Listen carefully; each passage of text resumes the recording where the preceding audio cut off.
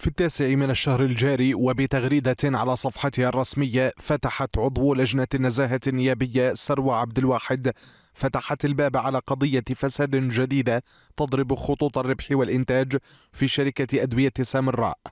عنوانها هذه المرة النفوذ والاستحواذ والاحتكار.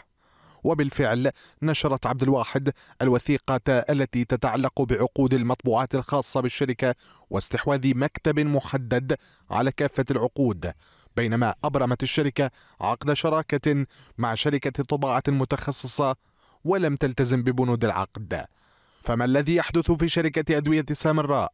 وهل تلك المرة الأولى التي تكشف فيها قضية فساد وما أثر القضايا التي كشفتها النزاهة الاتحادية في سابق الأيام والشهور أم أن الأمر اكتفى عند حد كتابنا وكتابهم؟ في حقيقة الأمر فإن القضية ليست الأولى من نوعها والتي تعصف بمصير شركة الأدوية التي تعتبر الأهم في البلاد.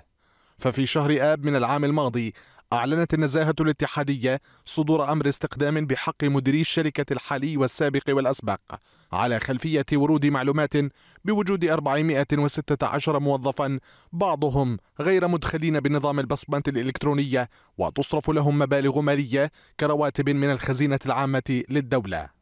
كذلك صفعة أخرى من قضايا الفساد لإدارة الشركة تمثلت بإعلان النزاهة الاتحادية في التاسع من تشرين الثاني من العام الماضي عن توقيف المدير العام للشركة بعملية فساد مالي. مخاوف أهل الاختصاص بانهيار مبدأ صنع في العراق سيما في أروقة أهم مصانع البلاد الطبية والتي تظهر أهمية الإنتاج العراقي. فبعد أن كانت الشركة تنتج حوالي 350 نوعا من الدواء تراجعت بحسب تقارير إلى 60 نوعا فقط. يحدث هذا بفعل ملفات الفساد الجاثمة على صدر الشركة بسبب إدارتها كما تؤكد عبد الواحد في كتابها بالإضافة إلى تأكيد مصادر موثوقة بما يحدث من تراجع لأداء الشركة الإنتاجي